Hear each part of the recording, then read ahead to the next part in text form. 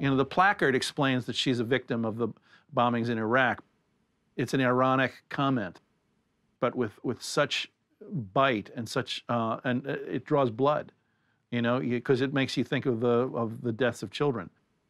And the juxtaposition of get me a subscription to the New York Times so someone can explain this to me. Well, this is what we do. In a sense, we are in the act of explaining to ourselves through our news media what we're doing when this is the reality of what's happening. Great thing about Fish is he cuts through the, the membrane.